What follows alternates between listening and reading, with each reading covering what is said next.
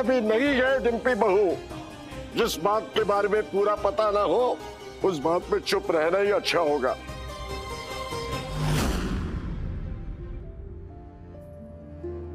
नित्यम, इसे देखकर तुझे लगता है कि ये कि ये अपराधी है?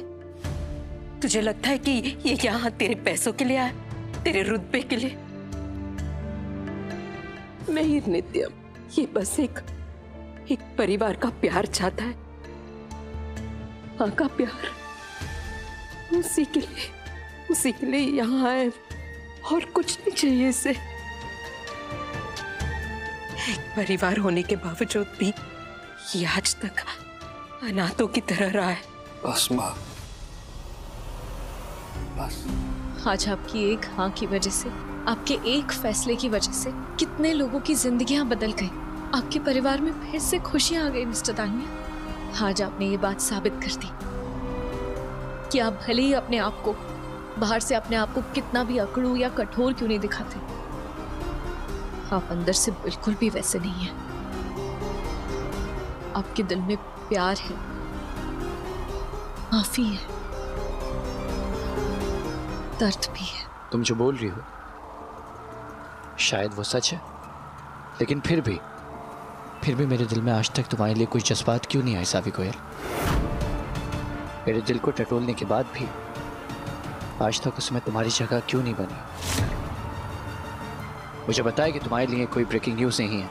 आफ्टर ऑल अब से कुछ ही दिनों पहले मैंने हमारी शादी का श्राद्ध किया था।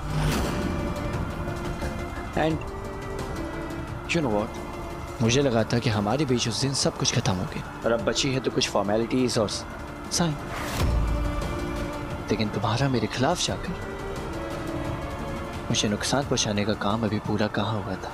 इसलिए तुम एकदम चुपचाप एकदम चुपचाप लगी रही, ताकि मेरे जख्मों को और कुरेद सकूँ।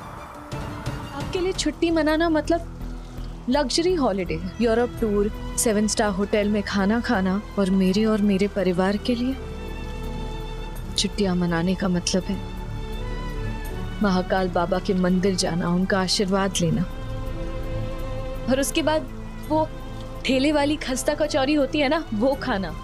Road side kachori so unhygienic वो भी अपने हाथ से खाओ। आपको ऐसा लगता है जैसे दान करने से लोग आलसी हो जाते हैं और मुझे लगता है दान करने से पुण्य कमाते हैं। चैरिटी देने और खैरात करने में फ़र्क होता है सावी। आपको हमेशा से एक ऐसी पत्नी चाहिए थी ना? जो आपके जैसी पढ़ी लिखी हो। हाई फाई हो। ऐसी लड़की जो आपके बिज़नेस और हाई सोसाइटी में आपके साथ कदम से कदम मिलाकर चल सके, जिसे आपको सबके सामने ले जाने में गर्व महसूस हो। वही सावी गोयल मतलब फाइनली फाइनली हम दोनों की सोच एक साथ मिल रही है। आओ, बैठो। बैठो बैठो बैठो।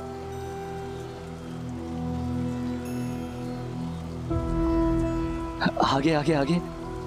शायद इन चीज़ों के बगैर भी हमारा मिलन हो सकता था। लेकिन जिस रिश्ते में प्यार ही नहीं है वो निभेगा कैसे? प्यार। प्यार हो तुमसे। नामुमकिन सावी